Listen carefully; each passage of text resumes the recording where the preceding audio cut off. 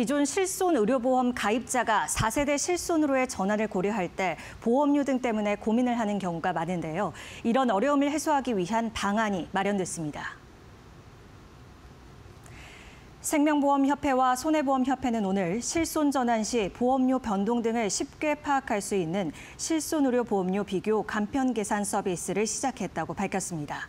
지난해 7월 출시된 4세대 실손은 보험료는 저렴하지만 자기 부담금이 높아 갈아타면 불리할 것이란 인식 때문에 기존 계약의 전환을 망설이는 가입자가 적지 않은 데 따른 것으로 풀이됩니다.